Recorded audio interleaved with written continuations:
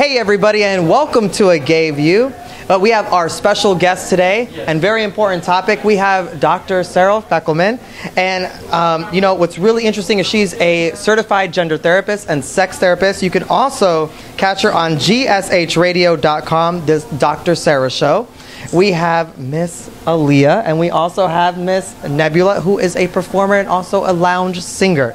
And of course, you have myself, Joshua, um, host of Ybor City TV. Now, we're going to be talking about a very interesting issue when it comes to uh, transgender equality, and, and then. Um, so what I want to talk about is what at what age do we need to start paying attention to our youth when it comes to gender identity? And I know that you're probably you've been experiencing this for years. So how, how do we yes. deal with this? And you know, it, it's one thing that's very, very important. People are not paying attention to the youth, and it's very, I mean, from birth, from the time of birth, children know. Children already have a sense of identity. By the time they're three years old, many of them can say, Do not put me in a dress, do not put me in pants. They want to be the opposite because the brain is saying one thing and the body parts are saying something else. Mm-hmm. So, and by the time they're five, I mean, there, there's no argument. But people, uh, many people think this is just a phase. Mm-hmm. They're just going through a phase and they'll grow out of this and maybe sometimes certain children they like to they want it they're little boys and they want to dress like princesses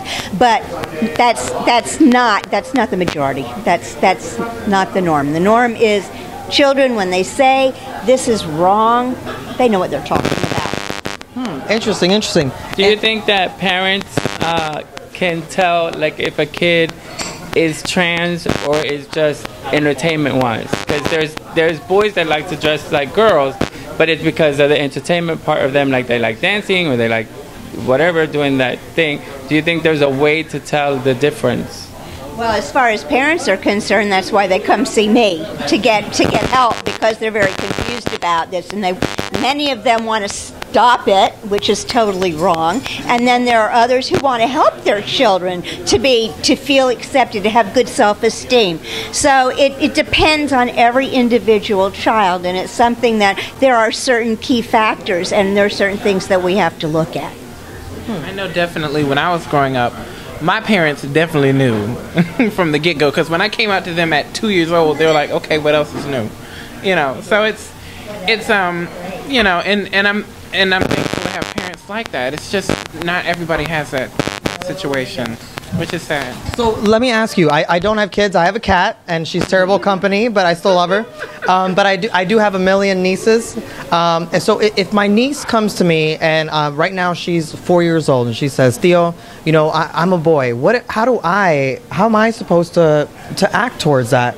Being a supporting family member."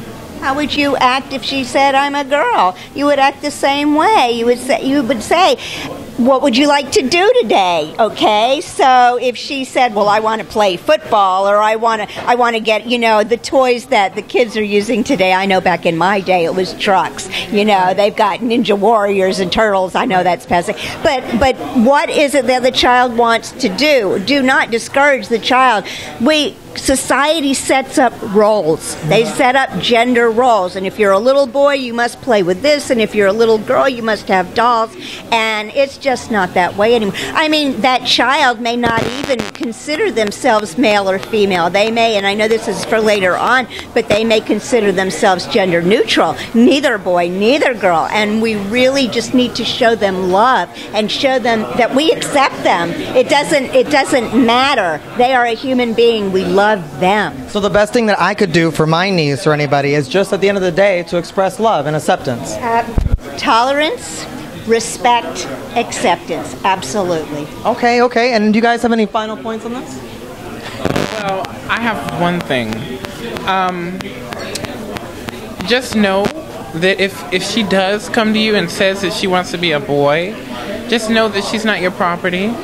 You know, know that she's not your property, and know that either way, she's still gonna be who she wants to be, regardless. You know, you can't, you can't, you can't take that away from her.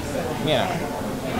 Thank you so much for letting us know about this topic. I was so worried about this topic because I wanted to make sure that we were able to talk about it the right way, present it the right way. But you guys have made life so much easy.